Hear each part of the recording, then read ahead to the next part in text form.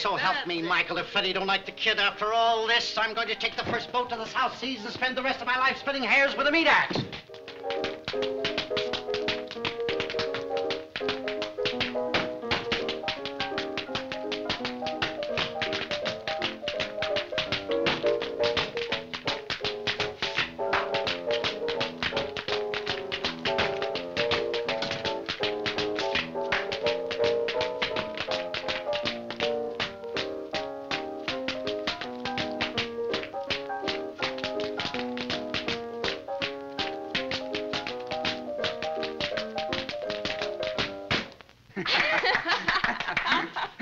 How about it, Freddie? Is she okay? Sensational. Then it's all set. Everybody's happy. Midwestern, here comes your potato.